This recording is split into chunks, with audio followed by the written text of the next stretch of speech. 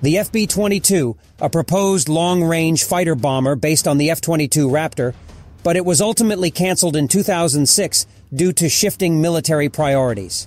While it shared similarities with the GCAP, a sixth-generation jet designed by the UK, Italy, and Japan, the FB-22 project itself is not set to come into reality as it was formally discontinued years ago.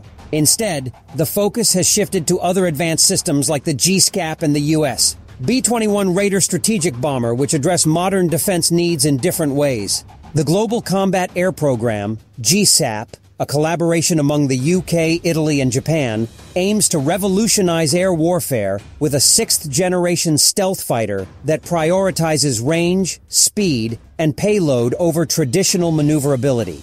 Unveiled at the 2024 Farnborough Air Show, the GCAP's wide delta wing design focuses on stealth and long-range attack, a departure from agility-focused models. This innovative aircraft, resembling the proposed but cancelled FB-22 Bomber Raptor, is optimized for stealth and standoff weapons, making it a formidable asset in modern high-stakes conflicts. Equipped with cutting-edge tech like adaptive cycle engines, virtual cockpit displays, and AI-managed loyal wingman drones, GCAP is a nod to the future, where advanced sensors and networked combat matter more than close dogfights.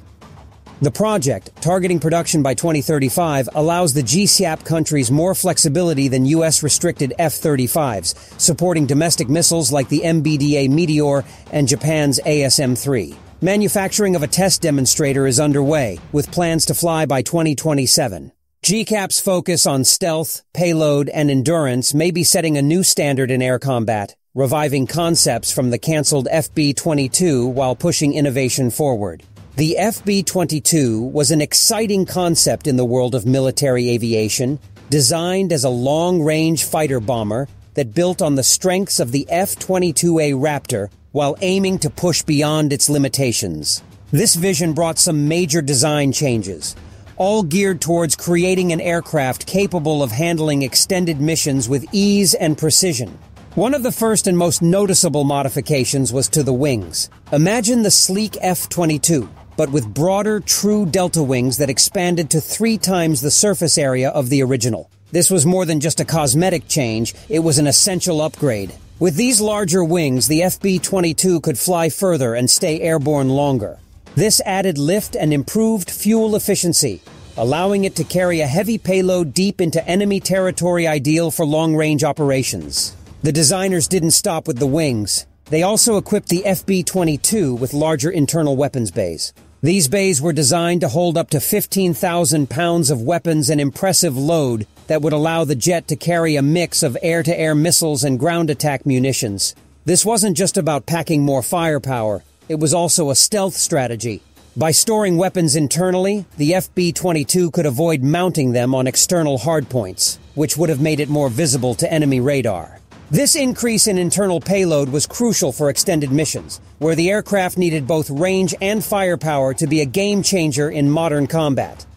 A unique addition to the FB-22 was the inclusion of a Weapons Systems Officer, WSO, alongside the pilot in the cockpit. Think of it as having a co-pilot who specializes in managing the complex array of weapon systems, freeing the pilot to focus on flying. The WSO's presence was especially valuable for lengthy missions, allowing the crew to take shifts and coordinate complex strike strategies. This change acknowledged the demands of long-range operations, where an extra set of eyes and hands could make all the difference. Another standout feature of the FB-22 was its extended combat radius. The aircraft was designed with a range of around 2100 miles, three times that of the original F-22.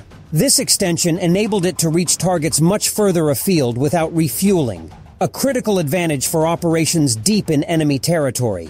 Being able to strike from such a distance allowed the FB-22 to hit key targets while staying well out of reach of enemy defenses. In today's warfare, this ability to stand off and engage from afar is more important than ever, giving the aircraft a safer approach to hostile zones. To meet these range and payload demands, the FB-22 had to make a trade-off. It swapped out the thrust vectoring engines of the F-22 for fixed F-135 turbofans, which provided greater thrust for long-range flights, but sacrificed some maneuverability. With this change, the FB-22 could only handle up to 6 Gs compared to the F-22's 9 Gs. In other words, it gave up some agility in favor of fuel efficiency and range and intentional choice that aligned with the shift in air combat towards long-range engagements over close-range dogfights.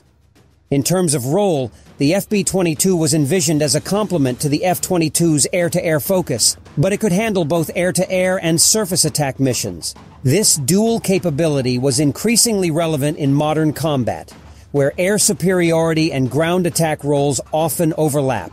The FB-22 was designed with the flexibility to adapt, making it a well-rounded choice for both striking targets on the ground and engaging enemy fighters in the air. Despite its forward-thinking design, the FB-22 faced an uphill battle. Military priorities in the early 2000s were centered on counterinsurgency efforts in Iraq and Afghanistan, where an advanced stealth bomber wasn't seen as a top necessity. Ultimately, the program was canceled in 2006, with F-22 production scaled back drastically from an original plan of 500 aircraft to just 187, the FB-22's cancellation reflects how shifting defense priorities and budgets can reshape even the most promising military projects. The FB-22 was a fascinating take on the future of long-range fighter bombers. From its extended wings and increased weapon capacity to the added weapon systems officer and expanded range, the FB-22 was packed with innovative features designed to meet the needs of evolving air combat. Its balanced role in both air-to-air and ground missions marked a significant attempt to adapt to the fluid demands of modern warfare. While the FB-22 ultimately didn't reach production, it serves as a glimpse into the possibilities of future fighter-bomber platforms and the ongoing quest for versatility in combat aircraft.